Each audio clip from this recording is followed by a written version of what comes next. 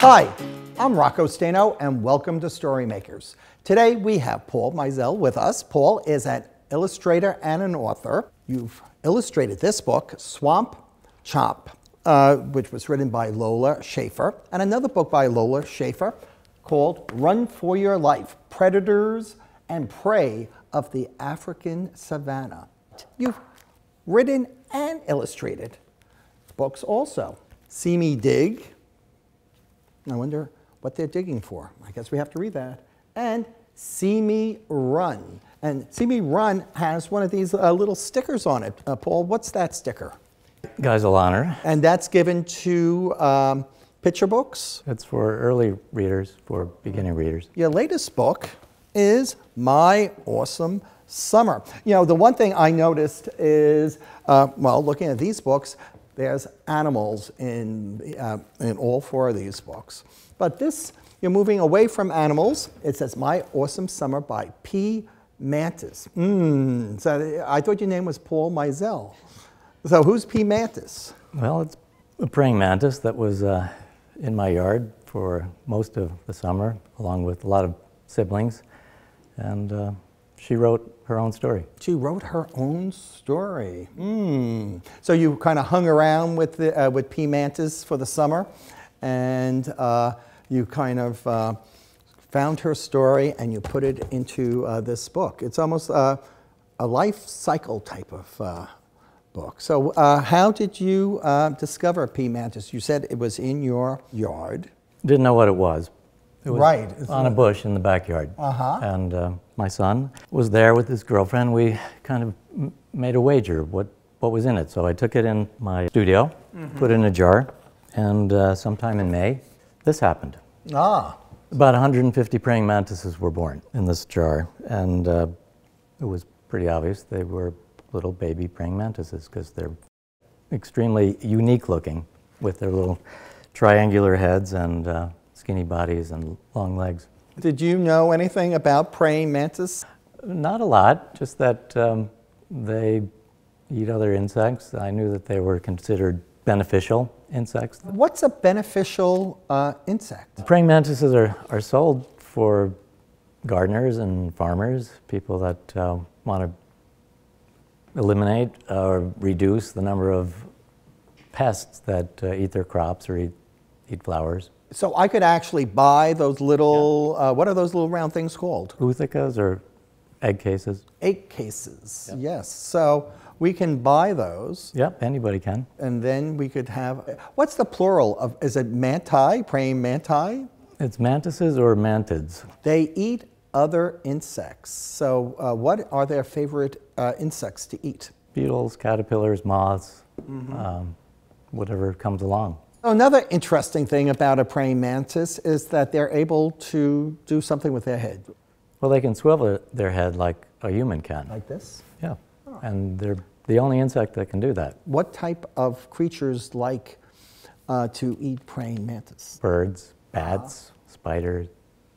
Mm -hmm. although they eat some spiders. Depends who catches who first. One of the things I was like a little surprised at uh, in reading the book is that they actually eat each other. Is that true? Yeah. In fact, on the jar it says uh, after they're born to take them outside. Don't leave them in a con uh, closed container because they will eat each other. Mm. So in my book, I have them eating each other. Is that in the book? They eat their brothers and sisters. Is that true? They do. They uh, they're known for that. That's um, not that common. But if there's other food around, they'll eat the, the other, other food, food, first. Yes. Well, I'm not sure. Oh, Maybe, we're not sure. Okay. I, I, got to know P. Mantis, but she didn't tell me about that aspect. So you have a jar filled with praying mantises, and uh, you have your friend P. Mantis, and you said to yourself, "I'm going to write a book." Actually, no.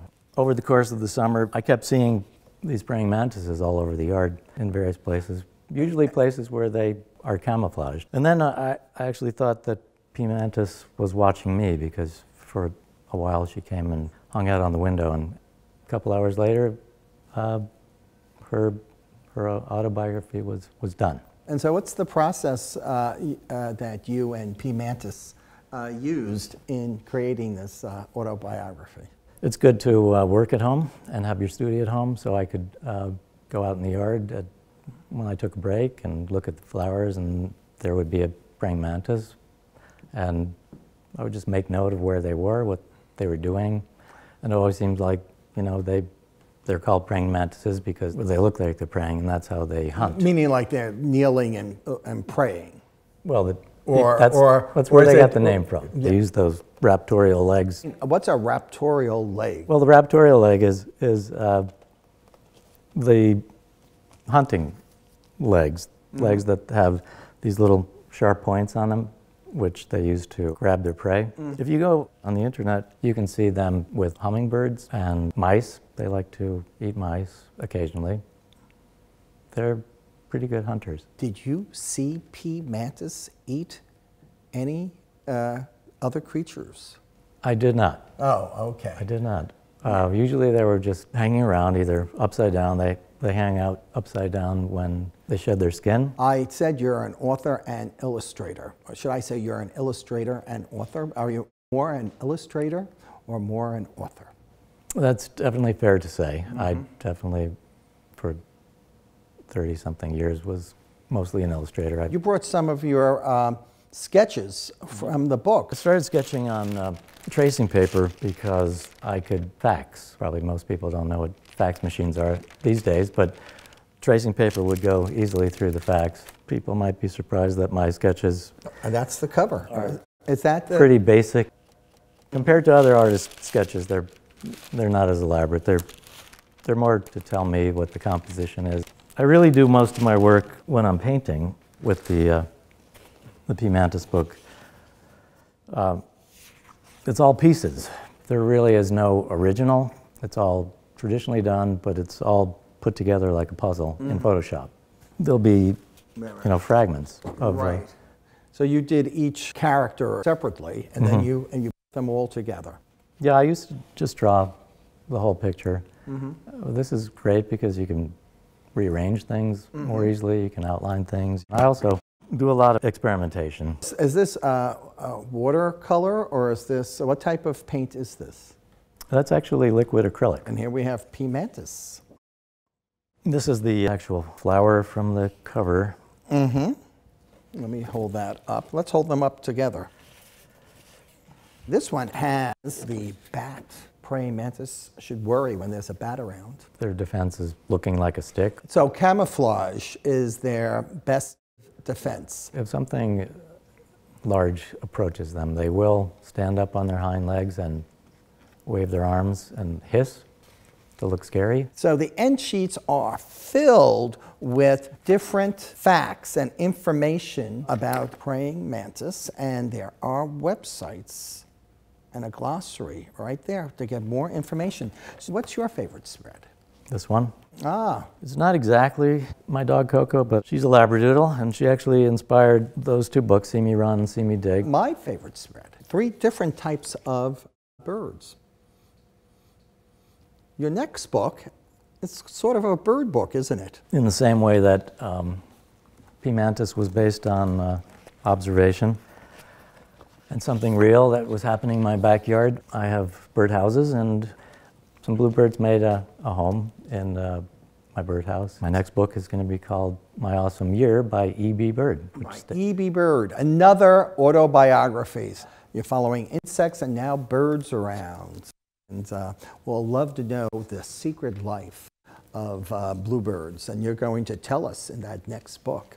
So I can't wait for your new book uh, to come out. And all of these books are all published by Holiday House. That's right. Yes. Thanks for being here. This was a lot of fun, and I can't wait to learn more about bluebirds. Terrific. Yes. Thank you. Remember, until next time, give a kid a book in any format.